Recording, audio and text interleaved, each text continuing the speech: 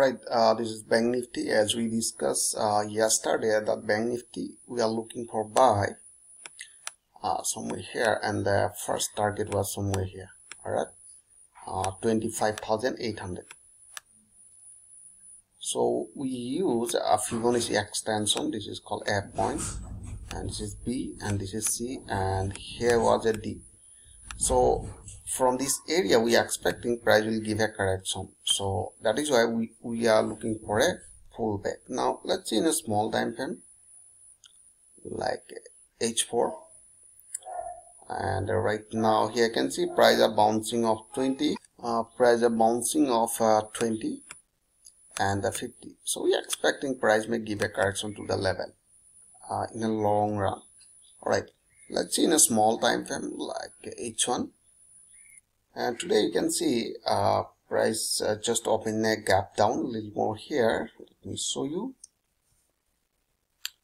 Uh, that was a closing and today you can see price uh, open a gap down and push up again push down. So we are expecting that it will give a correction because there are a supporting line around 25,000 all right. So we are expecting price will give a correction to this level and exactly we are looking for buy after giving a correction. Now see in a small time frame is there any supporting level? All right. Uh, here you can see price are bouncing off 20 in a 15 minute. Uh, somewhere here.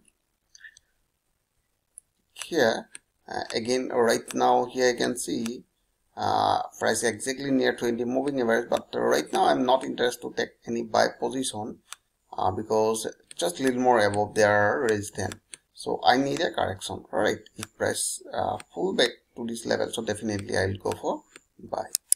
So i hope you answered this video. If you like this video uh, please like and subscribe. Thanks for watching